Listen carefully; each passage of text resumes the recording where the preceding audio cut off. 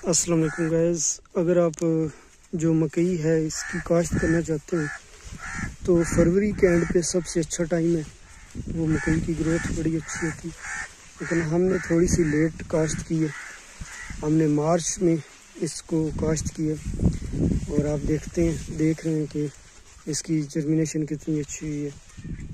और उसकी एक वजह यह भी थी कि उस टाइम बारिशों का मौसम था। बारिशों पे बड़ी अच्छी इसकी तैयारी हो गई है। तो अगर आप गर्मी में लगाना चाहते हैं आ, मार्च में अप्रैल में मकई काश्त करना चाहते हैं तो जो बीज है उसको थोड़ा सा ज़मीन के अंदर दबाएँ। तकरीबन दो इंच गहरा हो ज़मीन ताकि वत्तर रहे और जो गर्मी की वजह से बीज की जो जर्मिनेशन है उस पर असर ना करे उस पर असर ना पड़े और मकई के लिए सबसे अच्छी, बेहतर जो तैयारी है ज़मीन की, हल चलाएँ, ज़मीन को नरम रखें।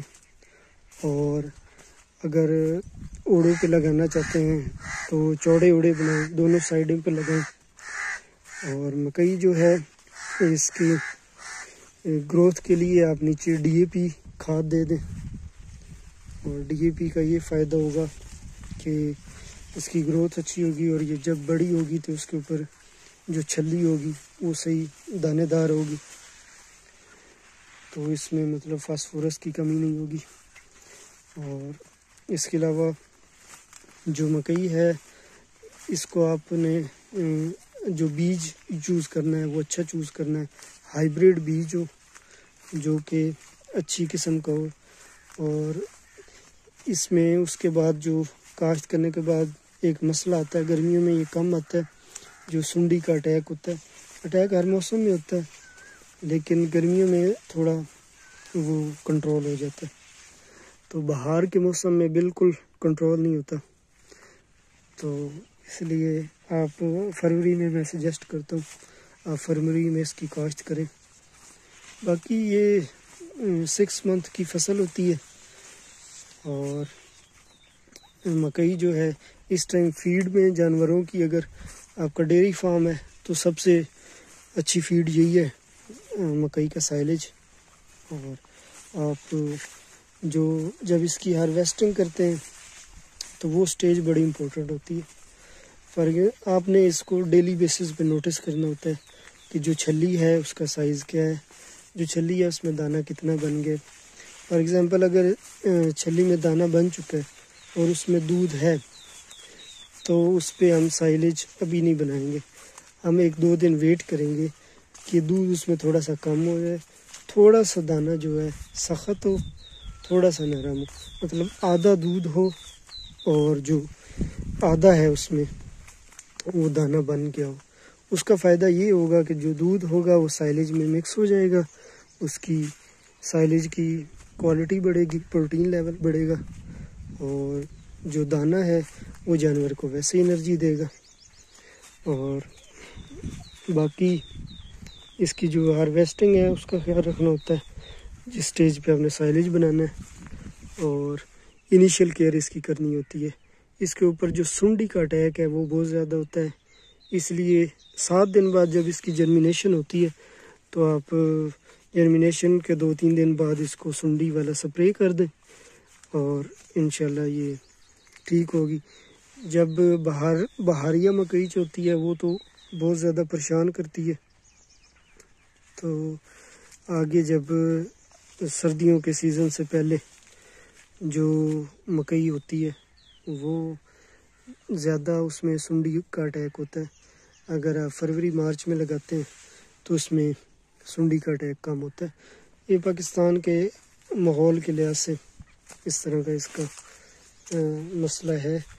सबसे बड़ा मकई में मसला ही हो जाता है कि इसके अंदर अटैक, सुंडी का बहुत ज़्यादा होता है, कट वर्म्स होते हैं। तो बिल्कुल ये जो इसका होता है, तना अंदर से, इसको खा जाते हैं कीड़े। तो दिस इज़ वेरी डेंजरस और फार्म फार्मर के लिए ये मतलब बहुत ज़्यादा नुकसानदेह। जब आप देख फार्मर देखता है रोज़ उसकी फ़सल जो है, उसको कीड़े खाए जा रहे हैं और दिन ब दिन वो बिल्कुल कंट्रोल ही नहीं हो रहा। पिछले साल ये हमारे साथ सिचुएशन हो गई थी कि जो सुंडी थी वो बिल्कुल कंट्रोल नहीं हुई थी और जो फ़सल है, वो सारी ख़राब हो गई थी। मतलब सत्तर फुट के जहाँ पे हम दो बैंकर भरते थे साइलेज के, वहाँ पे हम, हमारा एक साइलेज का बैंकर बना और उसका, उसकी कमी जो है, हमें आज फील हो रही है। आज जो है, हमारे पास जानवरों के लिए साइलेज नहीं है मकई का, और हम नेपियर ग्रास पे सिस्टम चला रहे हैं, और एक तरह की नेपियर ग्रास की वो प्रोटीन लेवल नहीं होता, जो मकई का प्रोटीन लेवल होता है। इसलिए जो है, मकई लगाना ज़रूरी है डेयरी फार्मर्स के लिए। तो लगाने से पहले ये होता है कि आपको मुकम्मल इसकी स्टडी कर लेनी चाहिए कि ये किस तरह इसकी किस स्टेज पे क्या करना है और कौन सी खाद देनी है। और सारा कुछ आप कर लेते हैं जर्मिनेशन भी हो जाती है। लेकिन जो चीज़ है ना, एक, जो सबसे ज़्यादा आपको परेशान करती है, वो इसको बीमारी है, जो सुंडी लग जाती है। और एक जो लेट आप मकई काश्त करते हैं ना, उसका एक और नुकसान होता है। फॉर एग्ज़ाम्पल आप अप्रैल में करते हैं मकई काश्त, मार्च, अप्रैल में। अभी तो इस साल बारिशें हुई हैं तो अभी तक गर्मी इतनी महसूस नहीं हो रही। तो अदरवाइज़ ये झुलस जाती है, इसके जो पत्ते हैं ना, इस तरह के, ये सड़ना शुरू हो जाते हैं गर्मी की वजह से। एक गर्मी का एक तरह से इसके ऊपर अटैक होता है, इस तरह। तो इसलिए इसको चाहिए कि आपको फरवरी में इसकी काश्त कर दें, ताकि गर्मी से इसको बचाया जा सके। जा सके और इसको मैक्सिमम इससे प्रोडक्शन ली जा सके। पिछले साल जो है हमने गर्मी में इस तरह काश्त लेट काश्त की थी और जो पानी फिर पानी टाइम पे नहीं दे पाए और अगर पानी देते भी रहे तो ऊपर से पत्ते जो है वो झुलस गए थे। और बिल्कुल मतलब जिस तरह आप गंदम देखते हैं ना, खुश्क हो जाता है उसका तना। इस तरह इसका जो तने से लेकर ये ऊपर तक बिल्कुल खुश्क हो गई थी।